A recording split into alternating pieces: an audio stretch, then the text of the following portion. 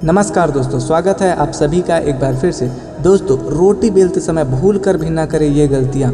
चुटकियों में खत्म हो जाएगी सारी धन संपत्ति। यह कौन सी गलतियाँ हैं, इसको जानने से पहले वीडियो को लाइक और चैनल को सब्सक्राइब ज़रूर करें। दोस्तों, घर का सबसे महत्वपूर्ण स्थान रसोई घर होता है, क्योंकि यहाँ अन्नपूर्णा का वास होता है। और कहते हैं, यदि माँ अन्नपूर्णा प्रसन्न हो तो कभी भी घर की कोई परेशानी नहीं आती। ऐसे में रसोई घर में काम करते समय अक्सर थोड़ी बहुत सावधानियाँ बरतना बेहद ज़रूरी है। ज्योतिष शास्त्र में भी कुछ ऐसा नियम बताया गया है जिसका पालन करने से आपको कभी आर्थिक संकट का सामना नहीं करना पड़ेगा। खास तौर पर रोटी बेलते समय आपको एक खास बात का विशेष ध्यान रखना चाहिए। दोस्तों, रोटी बेलते समय ना करें ये गलतियाँ। दोस्तों, कई बार जल्दबाजी में रोटी बेलते समय चकले आवाज़ करने लगता है, या फिर अगर चकला ठीक से न रखा तो भी रोटी बेलते समय आवाज़ करता है। लेकिन ज्योतिष शास्त्र के अनुसार रोटी बेलते समय चकले से आवाज़ आना अशुभ होता है।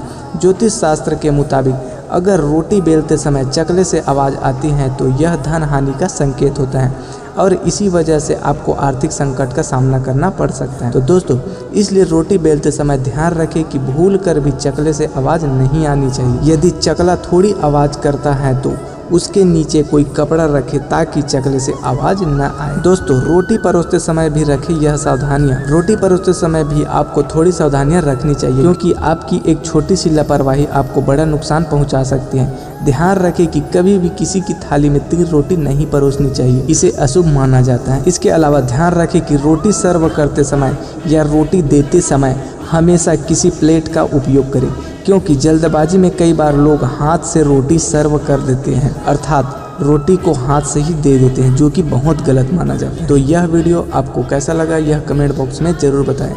आज के लिए बस इतना ही, कमेंट बॉक्स में लिखिए जय श्री राम।